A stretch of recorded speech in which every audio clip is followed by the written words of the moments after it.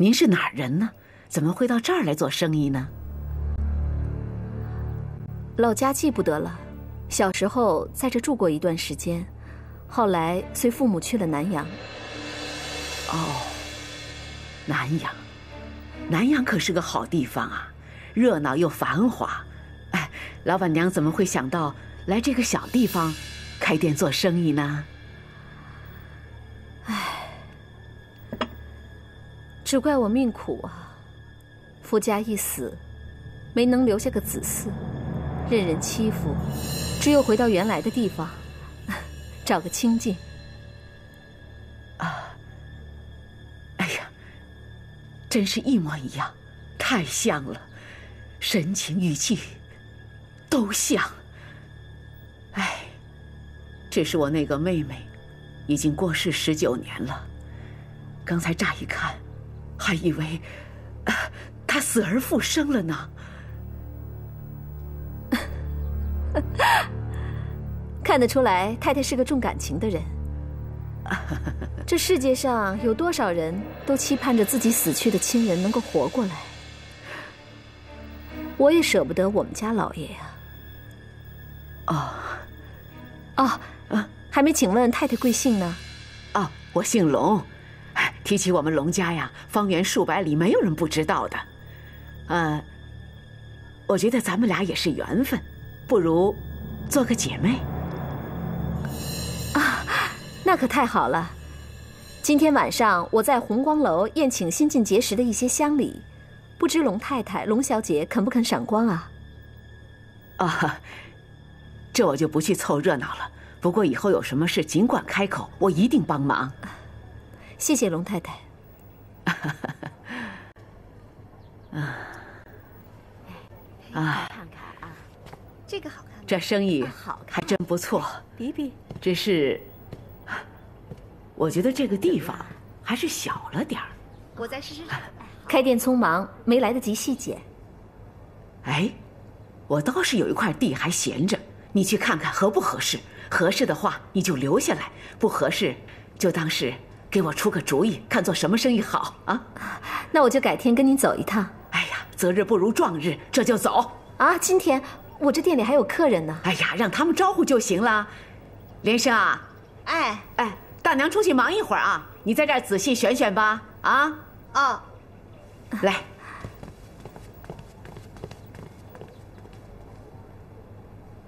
来来来，扶老板娘上车，请请。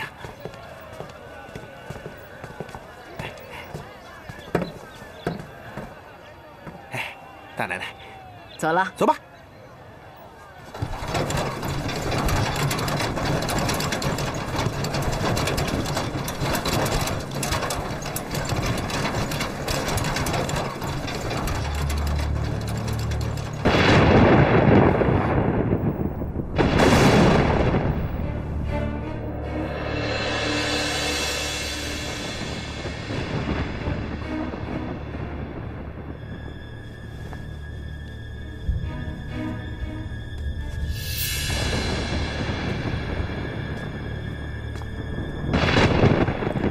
什么？你再仔细说一遍。我按照你说的，把那七个人都约到了温泉山庄。你是说突然着火了？好大的火！我眼睁睁看着那七个人被困在房子里，我没敢救。那不正好吗？省得咱们封口了。事情根本没你想的那么简单。庭月。我知道事情有些蹊跷，可我也知道，这七个人死了正好。只有这七个人知道这件事，知道方旭翁一家是替咱们家去死的。只要这七个人死了，咱们家老小就能活得踏实。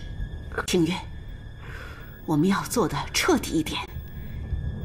一不做二不休。现在我们眼下就只剩下心儿一个了。他，他能做什么？他不能怎么样。可是他还有一个儿子。幸亏我今天在法场上遇见了他，把他带到咱们的府上。到时候，咱们就把他往朝廷一送，斩草除根。谁？谁？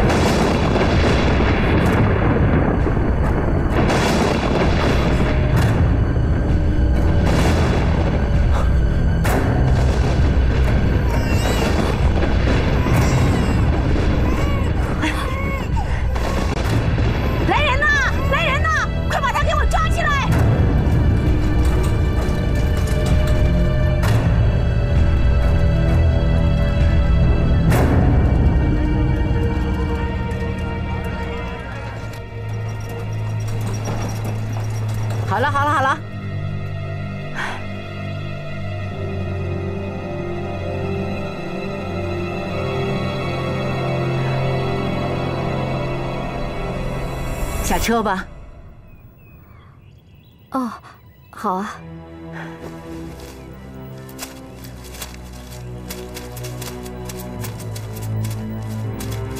就是这儿了。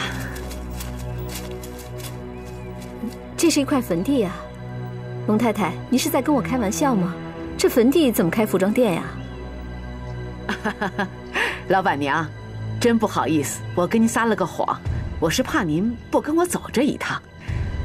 我听说南阳回来的都会看风水呀。哎，南阳人是非常讲风水的。哦，那你帮我看看这块地，哎，风水好不好啊？啊，我只懂一些皮毛。不过，这块应该算是风水宝地。这前面有水，后面有山，这是块真正的风水宝地。是吗，老板娘？真是见过世面。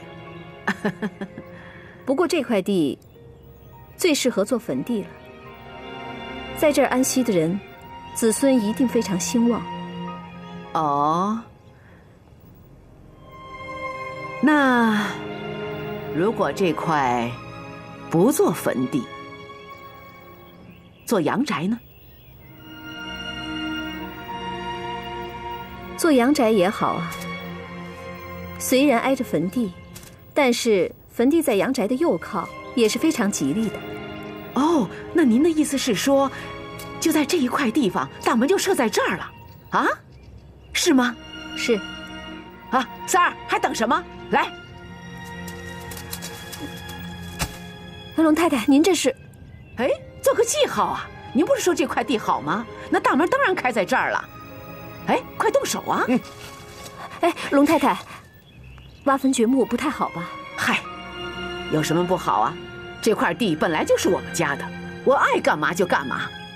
再说，埋在这儿的人跟我有仇，刨了他的坟也不算什么。动手！好，来，快！哎，是，把这都铲了。哦。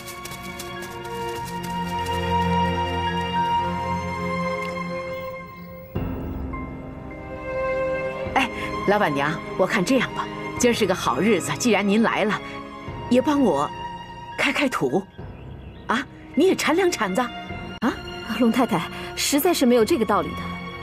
哎呦，老板娘，这你就不懂了。我们这儿的习俗啊，是远道而来的客人就会带来喜气，你就给我过过运，去去我的晦气。哎，你就铲一两铲子呀，啊。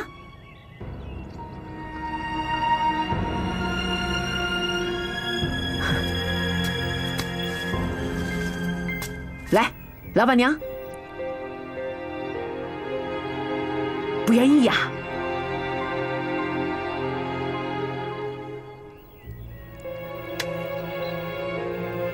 既然龙太太您看得起我，我就帮您这个忙。不过，请您让一下，我怕伤到您。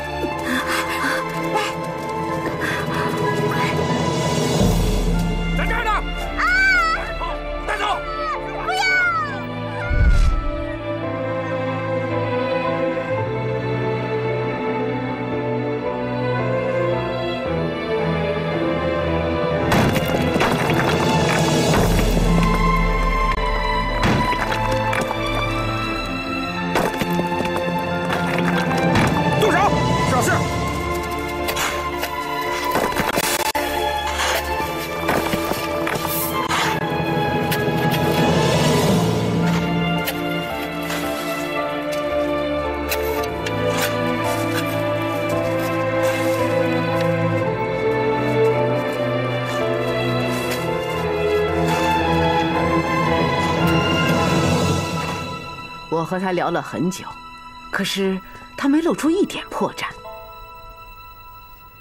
也许他真的只是长得像罢了。不对，那声音简直就是一模一样。当然，我也希望不是星儿。可是，如果真的是他，要么他就忘了过去所有的一切，要么他是演的太好了。二爷，不管他是不是星儿，咱们还是把他……就算他是星儿在跟我们演戏，又能拿龙家怎么样呢？当年那个孩子没了下落，难道他还能报仇吗？如果他不是星儿，那就是错杀无辜，罪孽更深重，这又何必呢？不要在我面前提罪孽，我已经是个罪孽深重的人了。二爷，你应该还记得当年那场大火吧？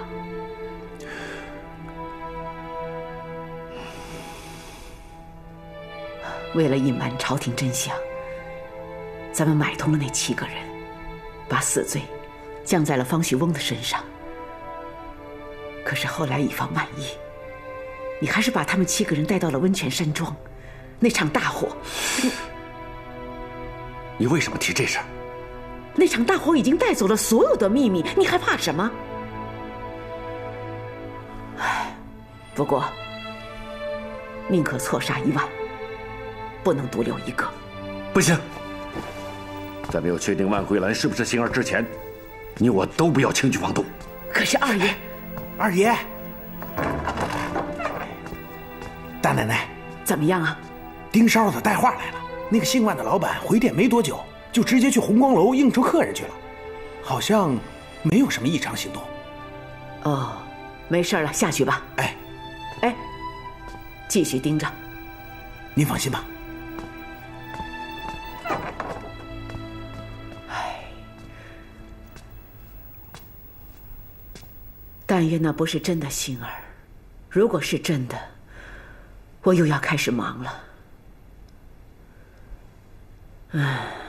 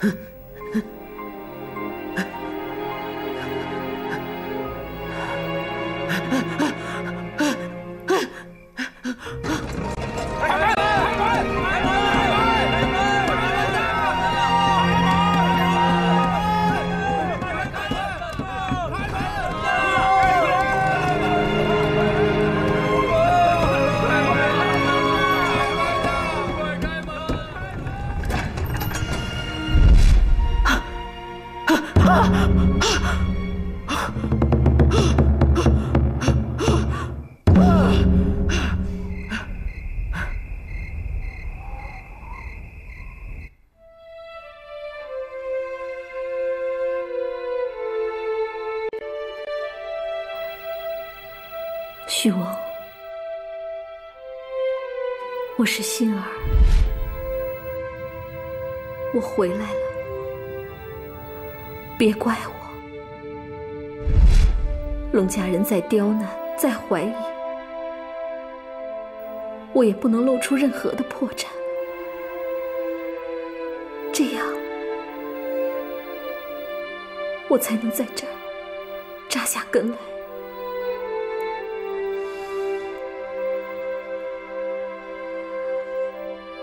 许王，我一定会替你报仇的。你在天保佑，保佑我找到那个捡走我们孩子的大夫，保佑我找到我们的孩子，我们母子俩一起替你报仇。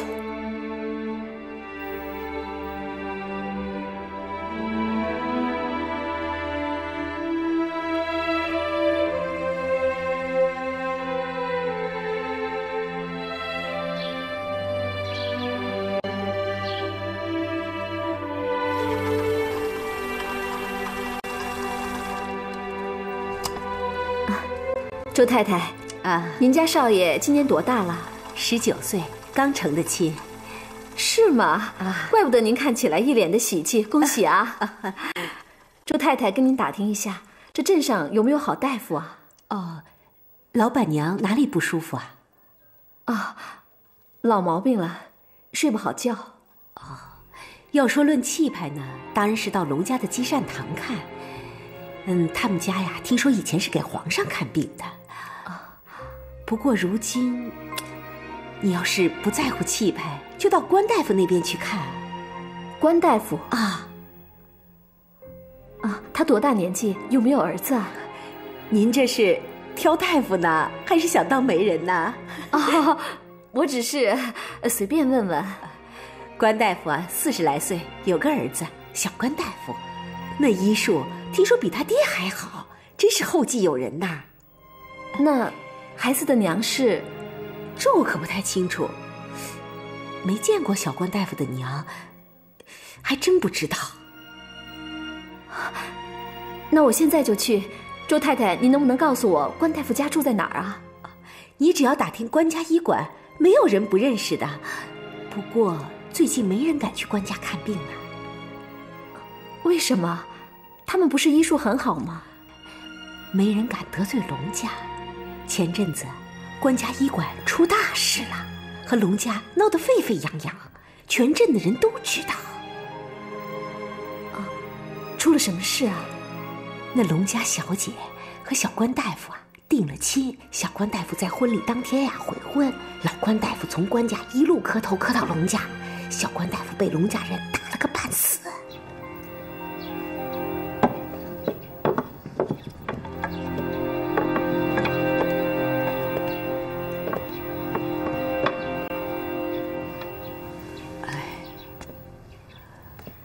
请问，啊，现在还看病吗？我儿子不在家，上山采药去了，还没回来。没关系的，我可以等一等。那请太太里面等吧。哎，请。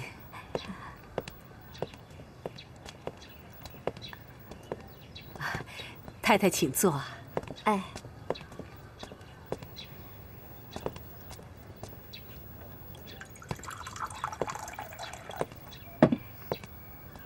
请喝水。啊，谢谢您啊。不客气。听镇子上的人说，官家一共有两位看病的大夫，您的儿子上山采药了，那您的孙子呢？啊、真不好意思，我孙子也不在家。嗯，请问太太哪里不舒服啊？啊老毛病了，睡不好觉，想开个方子调理一下。哦请坐吧。哎，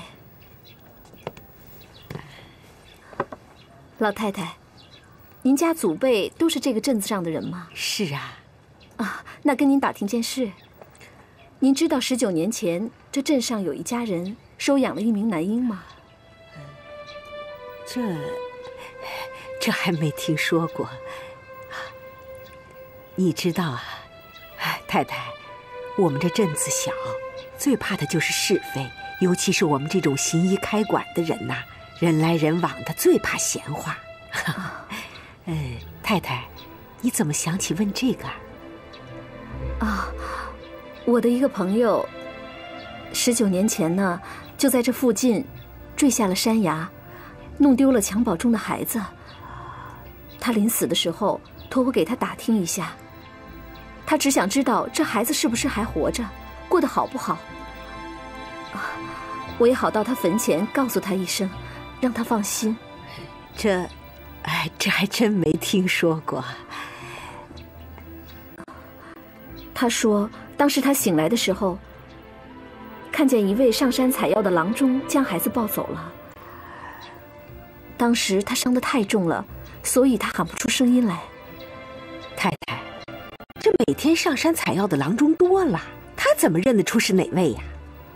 我跟您说实话吧，这附近的郎中我都打听过了，家里有十九岁孩子的就只有您这儿了。太太，您这话什么意思啊？我求求您了，您跟我说实话吧。关大夫十九年前是不是收养了一名男婴啊？太太呀。我们今天初次见面，您跟我开这么大的玩笑，是不是有点？不错，我家孙子是十九岁，可是对面李郎中那个儿子，他去年要不被淹死，也是跟我后谱一样大，也是十九岁呀。太太，不管别人怎么跟你说，我可以告诉你，后谱是我官家的独苗子，他身上流的是我们官家的血啊。太太的心情我可以理解，不过你要打听的这个人，我们官家医馆从来没听说过，是吗？我可以拿我这条老命保证，从来没听说过。太太，请回吧。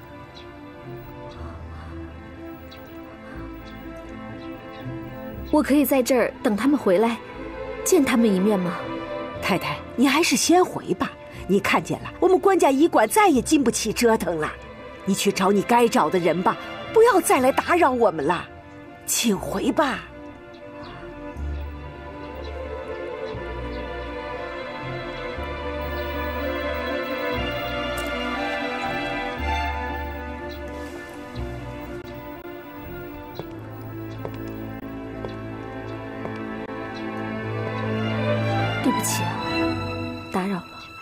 您慢走。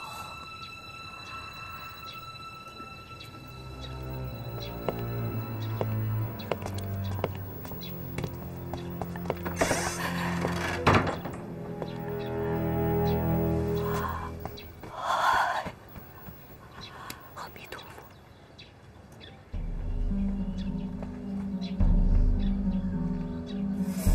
旭王，我们的孩子到底在哪儿啊？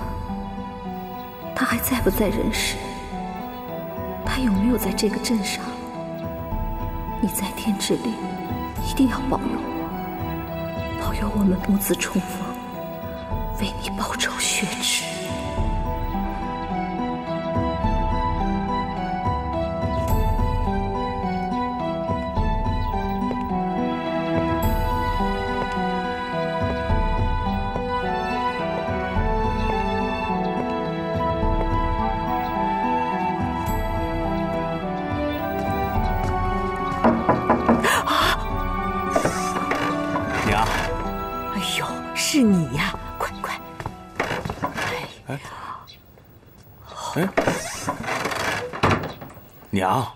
怎么了？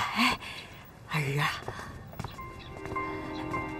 刚才医馆里来了个太太，嗯，看那个穿着像个有钱人，她说是来看病的，可她一进医馆就打听，问十九年前是不是收养了一个男婴。那后来呢？她说是替一个故去的朋友打听的，我一口咬定说不知道。儿啊，我这心里慌极了。你说这，哎呀，这要是这，哎呦，你倒是说句话，他以后再找来，我们怎么办呢？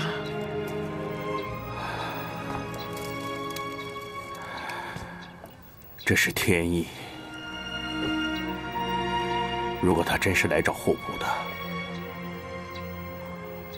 我们只能做自己该做的了。啊？啊，你是说，就告诉他，后仆和我们官家没有血脉关系，后仆不是我们官家亲生的。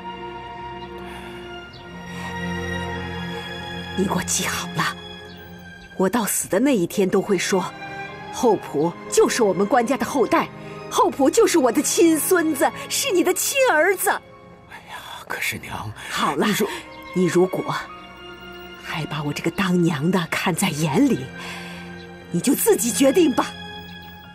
娘，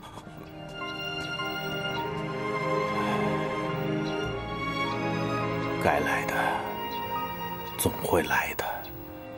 二爷、大奶奶，皇甫少爷回来了。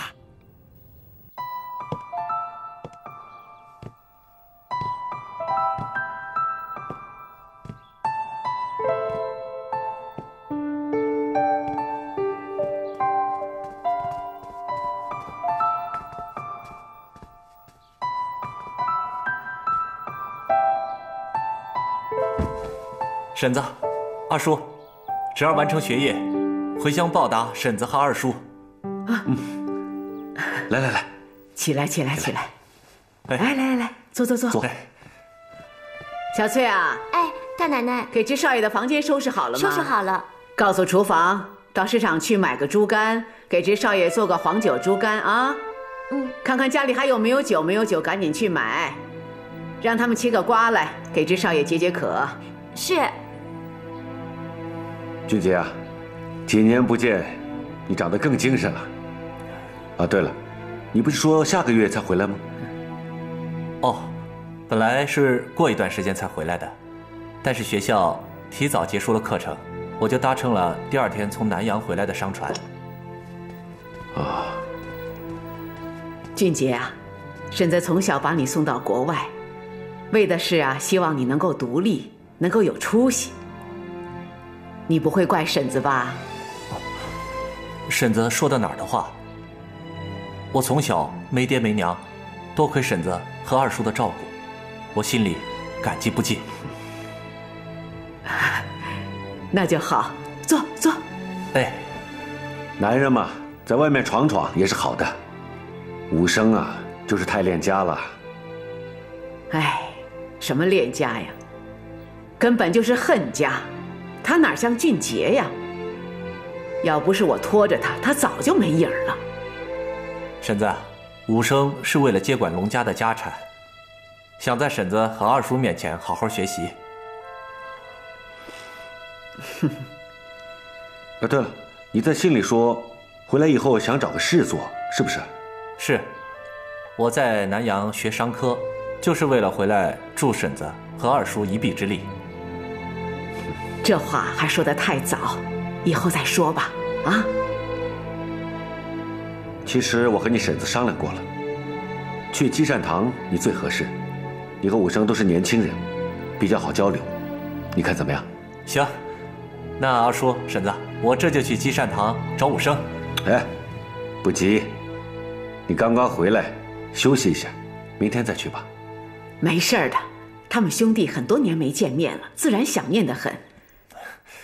小三儿，带侄少爷到房间去安顿好，然后送侄少爷到积善堂见少爷。哎，好，放心吧，大奶奶。黄甫少爷，咱们走吧。嗯，婶子，二叔，那我就先过去了。好。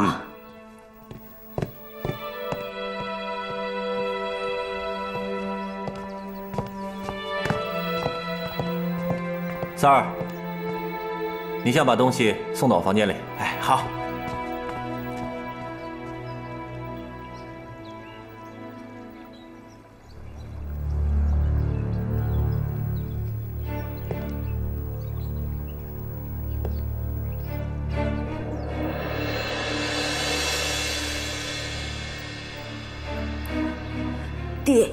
娘，你们等等俊杰，等等俊杰！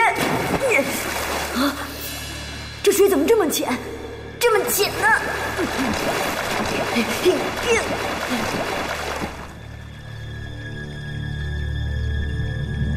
我又回来了。当年要不是龙家冷漠无情，我皇甫家何至于家破人亡，落到寄人篱下的田地？十年来，我含辛茹苦，忍辱负重，我一定会把我失去的夺回来。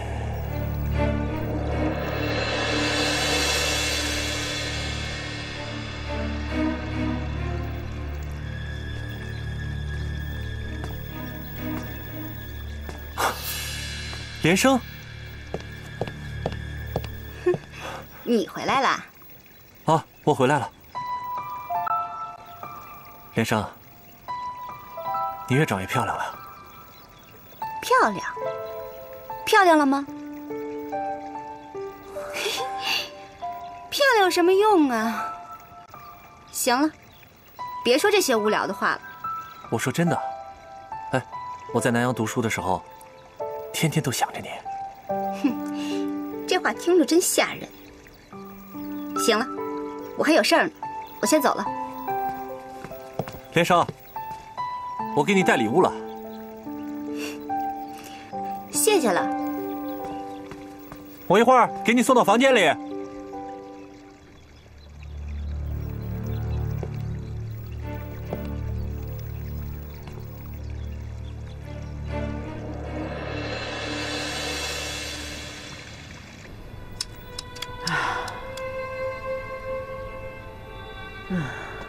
怎么了？哎，不知怎么回事。最近啊，总觉得胸口气闷，气上不来。哎呀，日子过得真累呀。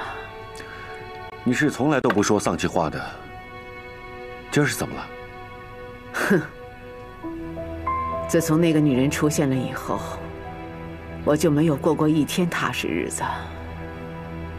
不是一直都有人在监视她吗？如果事情真要发生的话，该来的也挡不住啊。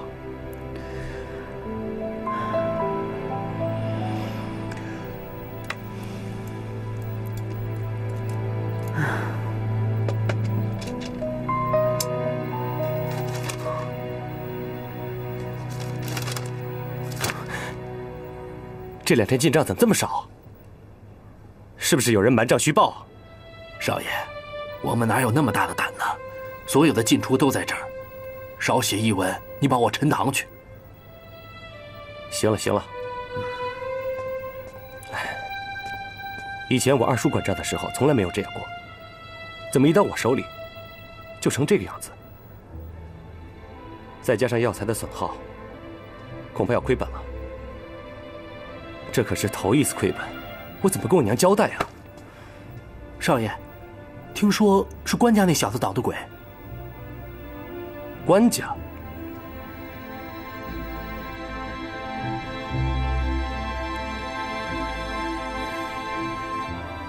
说。听说官家那小子带着一帮穷酸上山认药，还教他们自己挖草药。你说什么？那帮人有个伤风感冒、拉肚子、割破了手什么的，都不用找大夫，自己就解决了。谁还上咱们这儿来啊？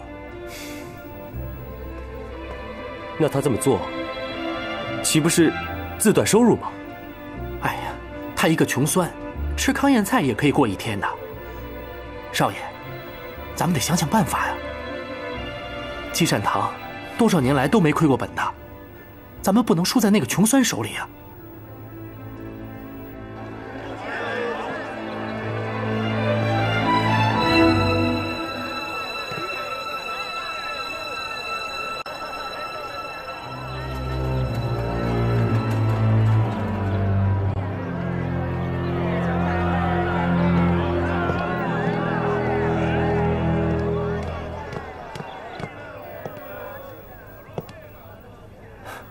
武生，哎，俊杰，你提前回来了啊！我这一回来就来看你了。哎，我给你带了礼物，看看，什么东西啊？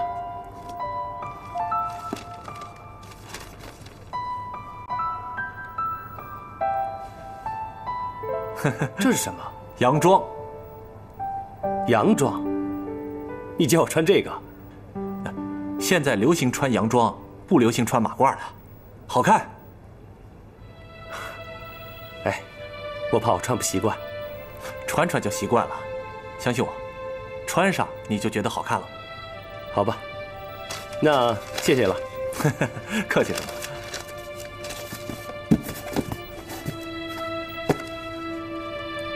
哎，怎么没什么生意啊？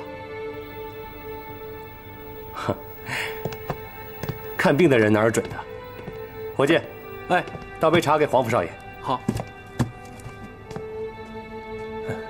大少爷，别再瞒我了。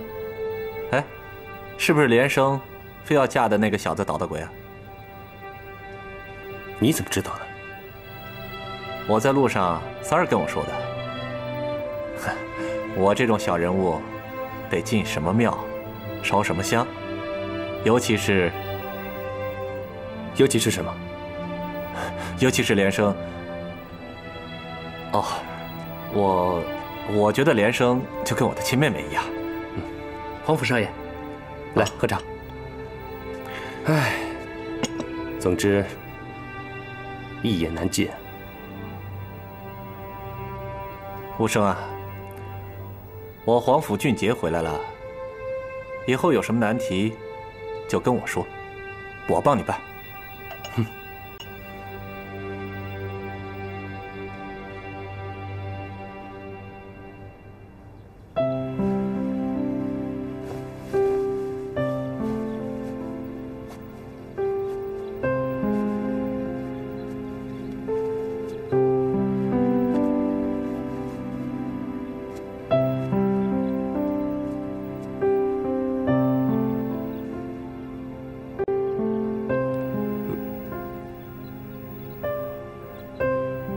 怎么了？不好看吗？那我去换。哎，别换别换，好看，真的好看。来，把外套穿上吧。嗯。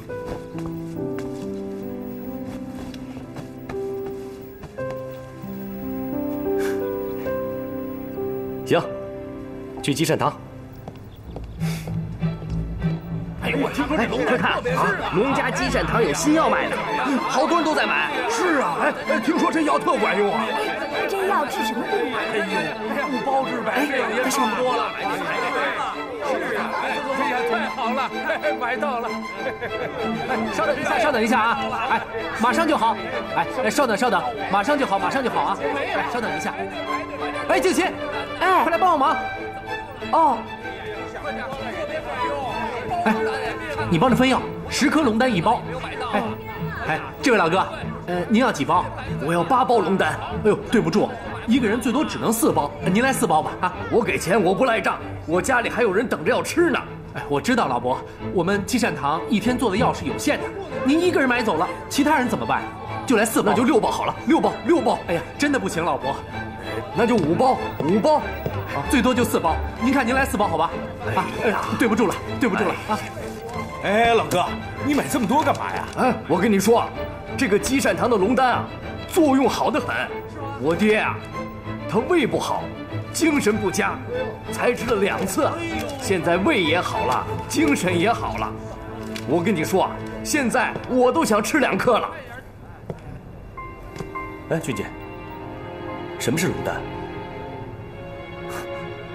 咱们积善堂新研制的药，新研制的药，什么时候研制的？哼，大少爷，你就别管了啊！这个药是咱们龙家新研究出来的，我特意找婶子要的。能治什么病？百病都能治。百病都能治？是啊，所谓百病都能治，就是管饱让人们能吃能睡。哎，福生，你不是不喜欢生意吗？哎，这种事儿你就交给我啊。多买，真的。哎，我的，我的，该我。你要四包是吧？好好，一个一个来啊。哎哎，别急别急，这是您的，哎，拿好啊。